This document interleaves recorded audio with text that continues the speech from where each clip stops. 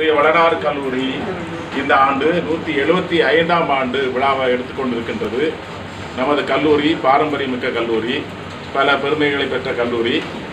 இந்த கல்லூரியில் மாணவர்களை நாங்கள் ஒரு திறமிக்க மாணவர்களாக பல திறமைகளை வளர்த்து கொள்ளும் மாணவர்களாக உருவாக்கும் ஒரு தளமாக இந்த கல்லூரியை நாங்கள் அமைத்திருக்கின்றோம். குறிப்பாக கணினி அறிவியல் துறையில் ஏராளமான மாணவர்கள் உருவாகி கொண்டிருக்கின்றார்கள். இந்த கணினி அறிவியல் துறையே இந்தியாவில் முதன்முறையாக எய்டட் டிபார்ட்மெண்ட்டாக உருவாக்கப்பட்டது. அதில் நாங்கள் பெருமை அடைகின்றோம் துறையும் மிக சிறப்பாக செய்து கொண்டிருக்கின்றார்கள்.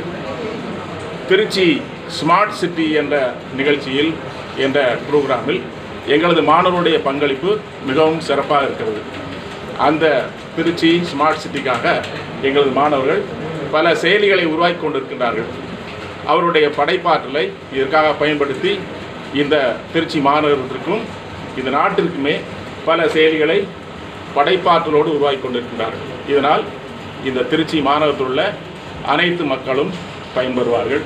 எங்களது மாணவருடைய திறமைகளை கண்டு பல அறிவியல் குழுக்களும் பல துறை வல்லுநர்களும் வந்து எங்களது மாணவர்களுக்கு மாணவிகளுக்கு பயிற்சி கொடுத்துக்கிட்டு இருக்கிறார்கள் ஆகவே அதை நினைத்து நாங்கள் பெருமை அடைகின்றோம் நிச்சயம்